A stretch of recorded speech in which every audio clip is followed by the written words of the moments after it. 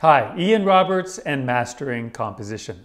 So last week we talked about abstraction and it engages me and interests me because it's relevant to where I'm trying to go in my own work. And we described abstraction from the root pulling away and its relationship to subtract and simplification. So the thing is, it's not always that abstraction goes to simplification. And I'm going to give you a couple of examples. In Monet's case, mid-century, mid-career painting, you can see he's pushing abstraction. Look at how complex this is. It may have started as a plein air painting, but there's layers and layers and layers of paint here to build up that surface. And Seurat, a Sunday on Le Grand Jatte, it's a very complex scene, it's true, and it's very simplified forms, but if you go in and look closely, you can see that there's an amazing complexity the way that pointillist style works, sort of the way a magazine uh, is printed today. So two weeks ago, I was in Santa Barbara painting, and I took this photograph. It was actually the thing that I wanted to paint. And it's a scene that my friend Marcia Burtz painted a number of times. I sort of emailed her and said, I sort of consider it, I, you know, you own it. But she said, no, no, it's not mine. And here's the drawing I did when I got home from the photo. This is kind of what I had in mind. And you can see that I expanded it a little bit more on the right and then expanded it even more on the right to get a sort of a big shape on the right, contrasting with the smaller one on the left. Uh, and when it's gridded, you can see that there's a very strong vertical on that third, which was just sort of coincidental. I mean, it just felt right and that's where it ended up. And the structure sort of like this. What I love about this, if you think of the horizon line, say across here, of the powerful sort of horizontals and verticals leading us right into here.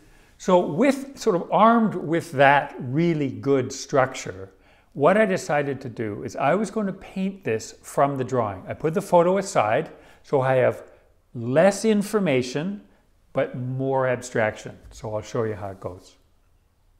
So here's this cobalt blue and white, and I'm putting it on, brushing it into the ground. That I've got a fairly dark ground there that'll just kind of be like an earth tone there. I'm just kind of blending it. You see the shapes, even though I'm painting simple shapes, I'm pretty clear, careful because this is all about the edges of this whole shape. The shape that I'm creating, I'm looking over at my drawing as I go here.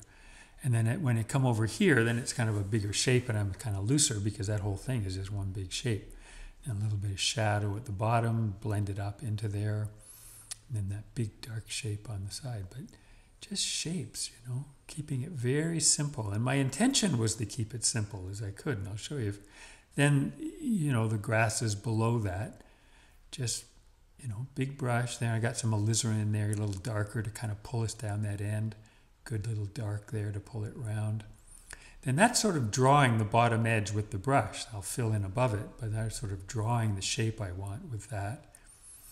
And here I'm doing the reflections. And uh, they're pretty just big shapes of the reflections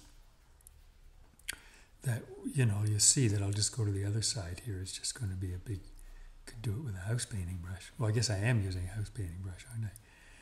And then softening it because of the shift down like that. But the, the, the reflections are very, very simple.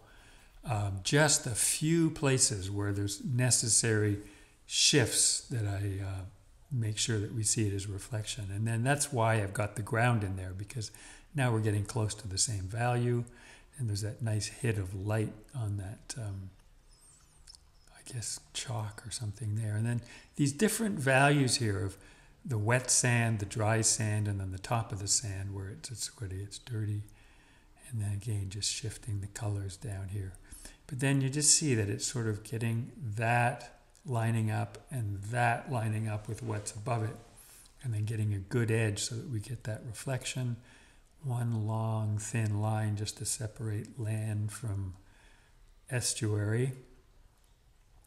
And then here's what I want you to look at. Just look at that area well, maybe you need to stop it a little longer than I had, but I just had overpainted that. And I just figured I'm scraping the whole thing away.